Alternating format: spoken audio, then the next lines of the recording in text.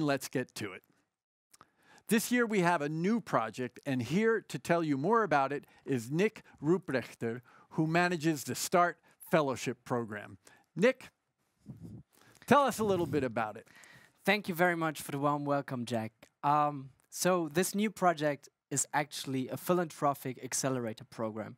With this, we envision that young founders from emerging markets come to Switzerland for six months to build their visionary ideas into impactful startups. Um, the program ranges from having workshops with experts, courses at uni, to a whole exchange with our network that we built now over 25 years. We believe that this network, the power of START, really grows those companies so that they can push the local ecosystems uh, in Latin America, wherever it might be, the same way that we do it here in Switzerland. And and what motivated Start to to form this program? So I think we now tried and did for 25 years a lot of empowerment for young founders. But we also discovered that there is a huge inequality of chances amongst young founders. If you are brilliant and have a great idea in an emerging market, you might not have the environment to really fulfill its potential. So we believe that those great minds should become part of an environment that really fosters their ideas and pushes them to maximize the impact. With that being said, um, I think we want to hand over to our panel that actually gives you a clearer understanding because we have Henrique Dubugras, a super young and smart founder from Brazil. He founded his first startup with 16, became a Stanford dropout, Y Combinator, uh, participant and then actually off to found Brex, one of the fastest ever growing unicorns. We have him here in conversation with Dani Gutenberg, probably the unicorn hunter of Europe, uh, who is a great entrepreneur himself and famously invested in Facebook, Airbnb, uh, Netspace, and more at an early stage. So we're very excited to welcome you here to talk about what it may means to found a startup in your 20s. Please, Henrique and Dani, the stage is yours. And I'll leave it to you.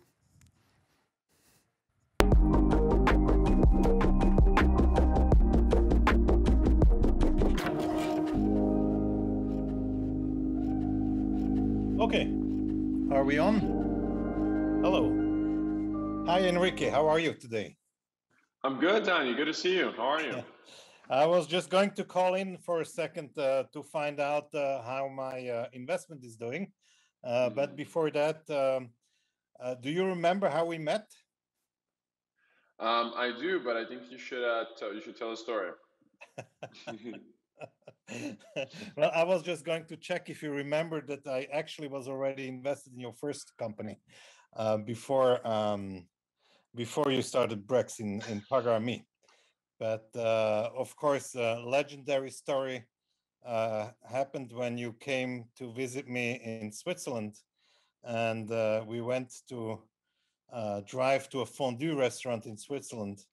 And on the way, I don't know if you remember that, but on the way we passed the house of um, Tina Turner, and I asked you. I, I was very proud, and I was uh, saying here that's where Tina Turner lives, and you were telling me who's that? I don't know her.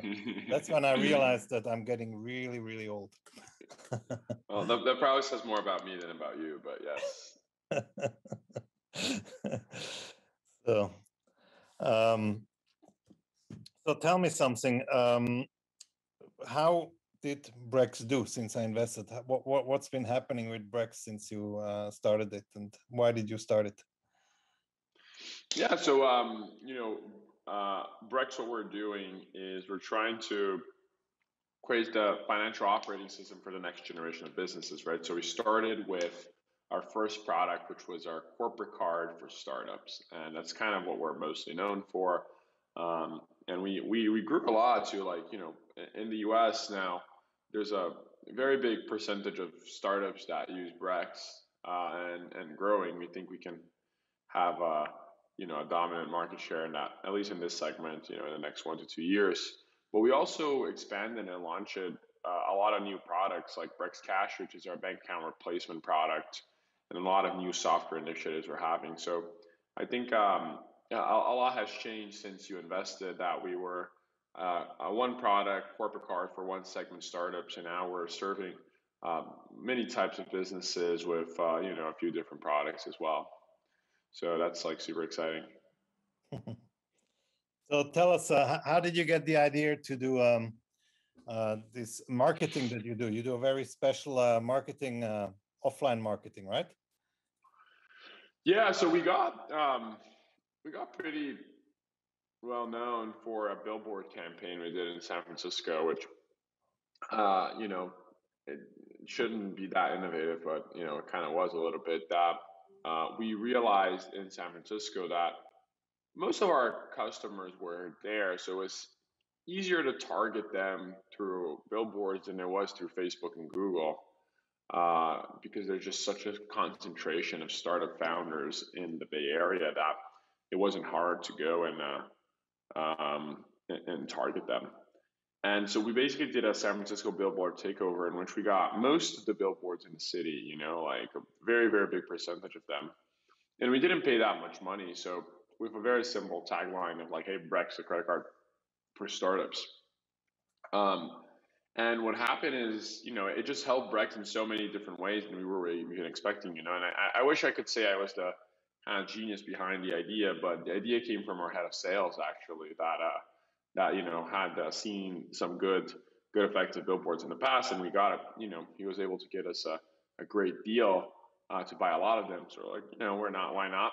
Um, and it helps with a lot of stuff, like you know, not only the, the actual customers that came in, but like employ, like recognition for recruiting engineers. Um, it helped like for the longest time once we were reaching out to, to customers like as an outbound, they already had heard of us help with press, help with investors because they were seeing our name all the time. So I think like it just had a big amount of mind share for Brex in the Bay Area, which helped in like different ways. And I think we got pretty pretty well known for it as well. Excellent. So let's um go one step back and uh, go back to your first company, Pagar.me, that you started when you were 16. Is that correct or 15? I'm not 16. sure. I think your, your 16, partner was 15 at the time, right? Uh, I think I was just turning 17 and he was just turning 16. Okay, so tell me, how did you get the idea? How did you get started? How did you get Arpex to invest in it? Yeah, so um, you know, my, the, the way I we, we kind of came to idea was Pedro and I, and Pedro's my co-founder, was kind of different. So I had just uh, won a hackathon by building this dating app called Ask Me Out. That was basically like Tinder, but instead of geolocation as Facebook friends, so you could like and match your Facebook friends. And then I tried to implement a payment system was like PagSeguro at the time, which was like really really bad.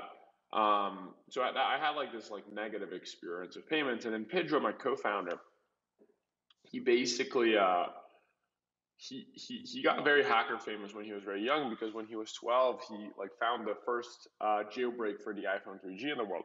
And that's usually a thing that like comes out of russia or china or something um, or you know even the us and it came out of brazil from this like little kid. So he got like pretty hacker famous and uh, we met and what happened because of that is he got hired by one of brazil's largest payments company to basically go and you know rebuild their ios app because no one in brazil understood ios security and he was hiring iphones so he got kind of like into payments by working in this company. When he was 14, he went to work at this payments company, which is kind of random. Um, and then uh, we we met in the end of 2012, basically like on Twitter, fighting text editors. I was one called Vim, he was one called Emacs, um, and you know it got too complicated to fight over 104 characters. We went to Skype, and on Skype we became best friends. Uh, and decided to start a company together. And then since he was working with payments, I had just had this bad experience. We thought, hey, there's probably like an opportunity to build better payments. And we didn't really know what that meant at the time. And we kind of like iterated over that a little bit, but, uh, but that's kind of how we, um, we, we, we, we did it. Oh, and we decided to start. And then, you know, I think we were both super young, so we didn't have any money. So like raising money seemed like the, the right thing, the right thing to do. Um, and then uh, Pedro and I, we both independently met Andre from Arpex. Um, Pedro, I think, met him through a friend of his mom, you know, actually a year or two earlier before we started this company. And uh, I, I, met Andre through through um, you know through our our, our mutual uh, friend Jorge Paulo, and then you know we both met him, and then we I think it was super lucky because you know Andre also started a company when he was 15 in payments in Brazil. So you know what are the chances that there's like another entrepreneur that started a company as a teenager in the same country as you are, and that person turns out to become an investor. So I think in some way he related to uh, to us and uh, and you know decided to invest, which uh, was was a great opportunity for us at the time. Excellent. So Jorge Paulo is uh, really uh, the big connector. So so then you, you you started your company in Brazil. You sold it. Uh, you moved to the states. Uh, went to Stanford. Dropped out. Started a new company. Um, so what are the differences from you know the ecosystem in Brazil and and how you you know how you proceeded in this ecosystem and and the second time when you did the same thing in in the silicon valley what what are the big differences there's actually a lot of them it's pretty different um and i'll tell you a few of the bigger differences the first one is like you know on the let's start with the positive side for Brazil, or you know, I think other emerging markets are somewhat similar. Um, the first thing is like there's not a lot of competition. So like, you know, we had a few payments competitors, but they were not really good. Um, so we were just doing something better, it was kind of like didn't take too much money and too much time to get ahead of the of the competition. So especially for something like super local like payments, it wasn't that there was like a bunch of like international companies doing super well in Brazil, you know, like um, at that time. So it was not super hard to win over the local competitors. And I think that was that was very important because like, you know, we were super inexperienced and super young. So, you know, we built a product that looking back it was it was good, probably not as good as we could have built today, you know, with like more experience. Um, but you know, comparing contrasting it to Brex, like we could have definitely not started Brex and, you know, if we were 16 um, without any experience. Like it was a company that required us actually to know a lot about payments, to know a lot about fintech in order to, to start versus in Brazil, Pagar.me, we could actually start it, you know, at 16 without knowing anything about payments. Um, because the market is just like a lot less competitive and, you know, the competitors are just like a lot less good. So uh, I think that was like something that was unique and special about Brazil. The other thing that is easier in some way is like hiring experienced people is somewhat harder than the US, but like just hiring people in general is less competitive too. So, you know, like convincing people to come work at a startup is like it's cool. Like a lot of people wanted to do it because, you know, it was novel. Um, in the US, like you have two hundred thousand, you know, not two hundred thousand, but like at least a thousand startups reaching out to the same engineer at any given point, um, all saying we're going to be the next Facebook, and you know, all paying super competitively and all doing all these things. And I think when we were in Brazil, you know, we were sometimes the only startup to reach out to to an engineer, and they were like super happy to come work at a startup, you know, and um, and you know, we didn't at the time it wasn't even common to give equity to everyone so it's like it was it was somewhat even cheap um, you know and i think that that made hiring and retaining people actually like keeping keep keeping people at the company like easier than it than it is in the us um, and a third point i'll say on the positive side and this will is like there is a lack of capital which could be interpreted as positive or negative but think that there's a lack of capital for everyone. It's not just for you. Um, so it makes the market a lot more rational in a lot of ways because because like you know we had to be profitable with like we raised three hundred thousand dollars and it was the only money we raised and we had to be profitable with that money and that was it you know and I think the market's developed more now and a lot of people are raising a lot more money in Brazil but at the time there wasn't a lot of investment in Brazil so it just forced us to be so efficient and so good um, because we couldn't raise more money. And I think that made the company, it was good for the company at that moment. And I think you know after that, like capital definitely would have made a, a big difference in order to make us grow faster. But for a little bit, I think it, it was it was uh, it was positive. So that's on the positive side, I would say. Pro Brazil, um, pro US. There's a lot of pro US. So uh, a big difference in the US is like a lot of stuff is a lot more efficient. So I remember like opening a company in Brazil took like a month and a half. Um, you know, setting up an office, getting internet, you know, like all this stuff was like painful. And like I had to personally spend a ton of time like figuring this stuff out. In the US, in like two days, we have everything set up, you know, and it was just except the bank account and the credit card. That was super hard. That's what we built Brex. But um, otherwise, everything was like much, much easier. So you know, you just spend a lot more time thinking about in Brazil about like things that don't matter, you know, like labor law and how to not get sued and, you know, all these like decisions. In the US, is kind of all on autopilot, which is really nice. Um, second thing, and this is probably the largest difference, is around like executive hiring. So, you know, one of the coolest things about the US is like, you know, we hired uh, our CFO, for example, he was like one of the first employees. And when we hired him, he already knew how to do a lot of stuff because he had gone gone through like a pretty successful fintech startup in the US. And we were able to hire him.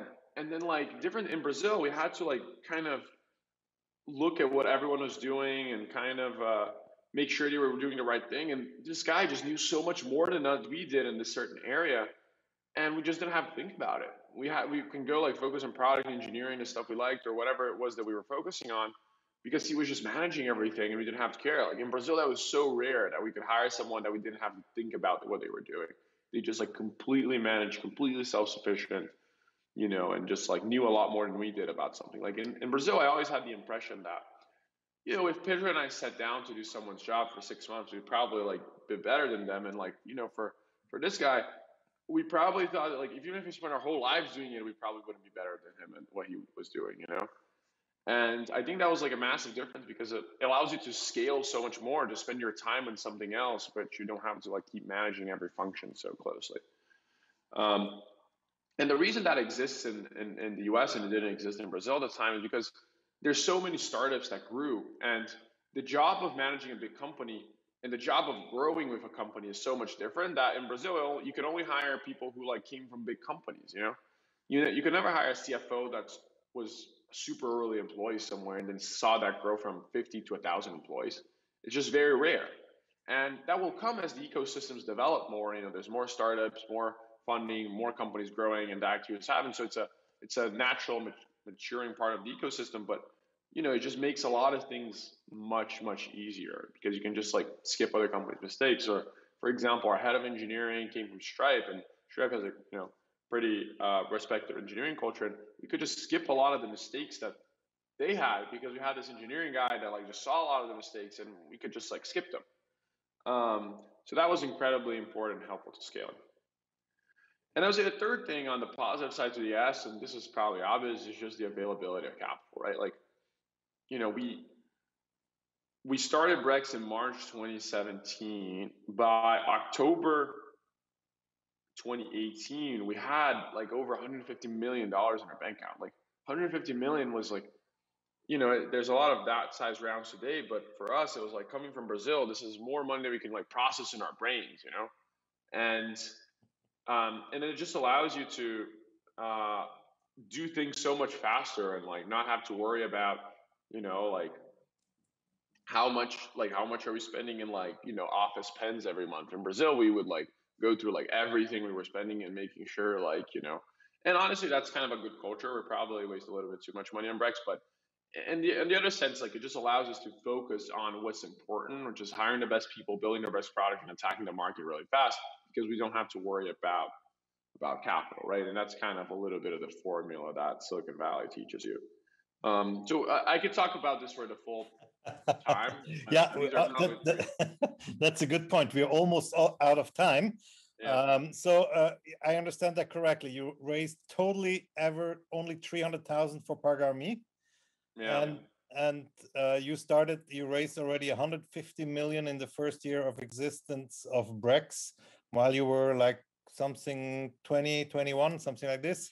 Yep. So now you're 25, and uh, and the company uh, has grown tremendously since uh, since 2017 when you founded it. Where do you see yourself? Um, I mean, looking at the difference from from you know 16 to 21 so the next step will be like when you're 20 uh, when you're 30 like five years from now where do you see yourself uh, honestly just running brex um, you know i think that one thing that you know people always say is like oh henrique you're like a serial entrepreneur. I'm just like no i don't want to be a serial entrepreneur. I just want to be a mono entrepreneur. I just want to run like one thing for like a long long period of time.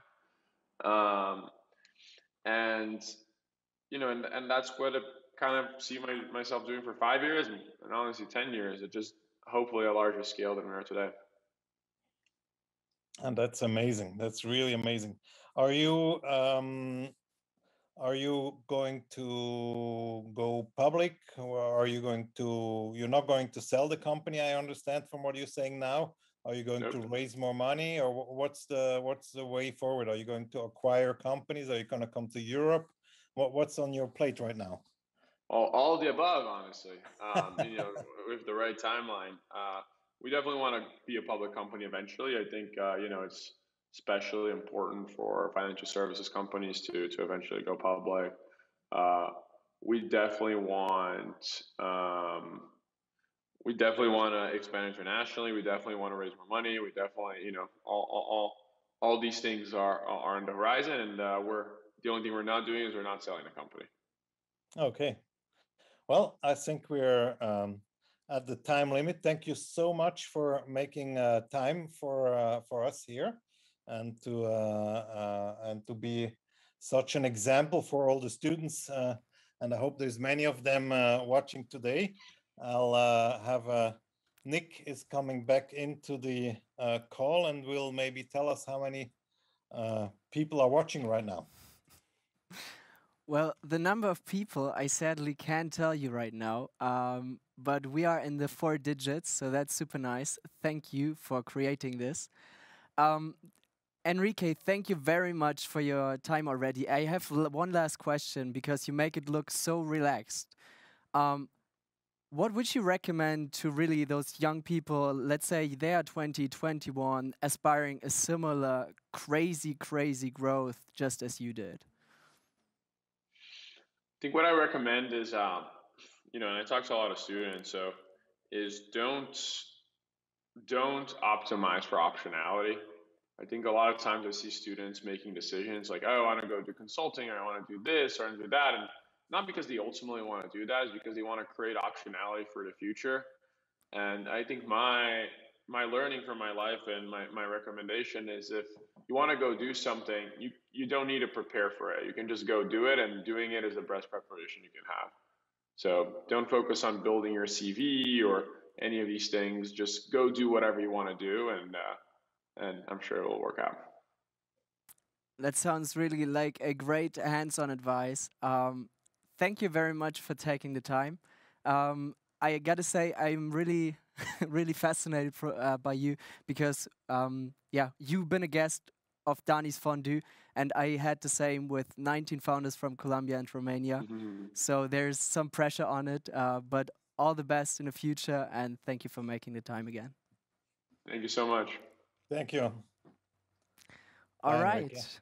Yeah, next up, um, we will continue the conversation with Dani Gutenberg um, because we've heard now the great founding story from the eyes of uh, Henrique, but also we want to have the investor's perspective on it.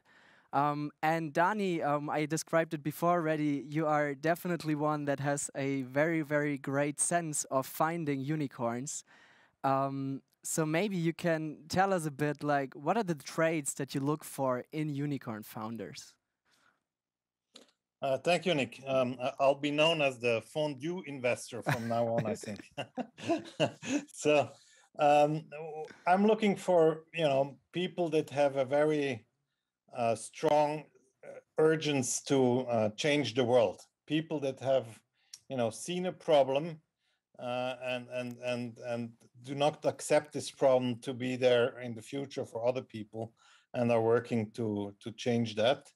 And uh, I'm also looking for people that um, are respected all throughout. They're respected from their um, co-workers, respected from their investors, respected from their friends, uh, and and and and that's kind of how I uh, when when I see that everybody around uh, is is uh, is really looking up to uh, that that always gives me a very strong uh, sense of I need to invest. Well, it sounds um, like really a great signal, and also makes it a lot about the personality of the founder. Um, maybe can I kind of ask in that sense? We've heard about Henrique now that he was in Brazil, kind of made it there, and then grew even bigger in the US. Um, you are an international investor at the same time. You have in, been investing in Israel, in the US, in Europe. Um, can you maybe tell us if you think that the ecosystem plays a role here in developing those traits in a founder? Oh yeah, definitely. I uh, uh, I mean, you, can uh, you can see that the ecosystem is important, uh, especially in, in small ecosystems like the Silicon Valley and Israel, where everybody knows everybody and everybody shares, uh, you know, their uh, their ideas on on how to start something. like Henrique said before, it, it's much easier in the Silicon Valley if you need somebody to make a website or uh, the payments or the security or uh, and the same thing is happening in Israel as well. There's an ecosystem where you can just you know pick up the phone, ask another founder, how did you solve that problem, uh, and you get an address and uh, or an email, and and uh, and ten minutes later you you found somebody that you can offload this problem and and and run with it, and um, maybe much more difficult in in larger ecosystems and and not as uh, advanced ecosystems like Brazil. So I, I, think that's a big difference that you can uh, that you can just call up the guys and, and, and move very quickly. Great, yeah, that's definitely uh, a super important aspect. Um, and I mean, you still invested in Brazil, for example, right? Um, back then when Henrique was with Pagar.me. So um, this ecosystem has an influence for sure, but it didn't keep you away from investing, right? Oh, absolutely, absolutely. Um, I mean, in in uh, in Brazil, when I invest there, though, I, I won't just uh, look at every single business plan that comes to me. I will only accept business plans from people that I trust in Brazil, and and that will you know tell me this is outstanding from all the other Brazilian startups I've seen and and pretty much the same in in uh, in Israel. Um, not the same in Europe and in the US, where I really look at everything that I can read and and, and put my hands on, and and really study every uh, business plan, and will actually also do cold calls and call up companies, startups to to invest in. All right. Yeah, I mean, um, that sounds like a very straightforward approach to actually find the unicorns. Um, to once more touch back on the ecosystem, I mean, what I think Henrique also told about it, uh, taught about it already that um, there are there's talent available, capital, but what does play a role in terms of infrastructure for you as an investor? What has to be there around a startup to yeah make you see the potential that it could become a unicorn?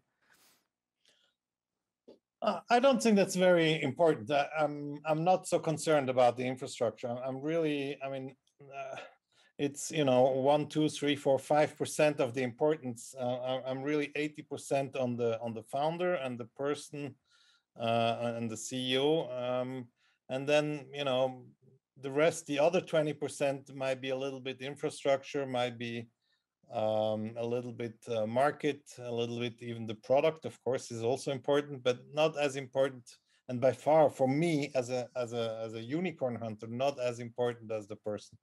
If if I find somebody that has a, an idea and I feel that he will make his idea work, um, then I'll trust that he'll you know somehow go around the infrastructure problem, um, no matter how big the problem is. Great, great. Yeah. Um, also, that again is very straightforward and hands-on. Um, do you ha maybe have one last advice also for the students from the unicorn hunter perspective? Um, if they're looking to found, what can they do to end up at your desk and one day? well, I, I, think to end up at my desk, uh, the, the, the easiest way is to convince people that I know already. Uh, so uh, check for um, uh, um, people that that know me, and and you've heard from Henrique. That's the, how he got into uh, to um, Andre Street, uh, who is I think also on on one of your panels here on the Start Summit.